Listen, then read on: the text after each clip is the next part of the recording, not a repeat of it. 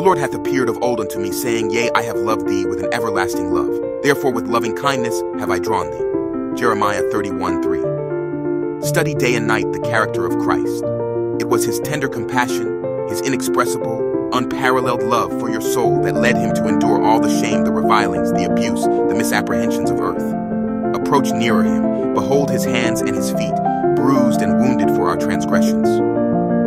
The chastisement of our peace was upon him, stripes we are healed. Lose no time, let not another day pass into eternity, but just as you are, whatever your weakness, your unworthiness, your neglect, delay not to come now. The call of Jesus to come to him, the presentation of a crown of glory that fadeth not away, the life, the eternal life that measures with the life of God, has not been of sufficient inducement to lead you to serve him with your undivided affections.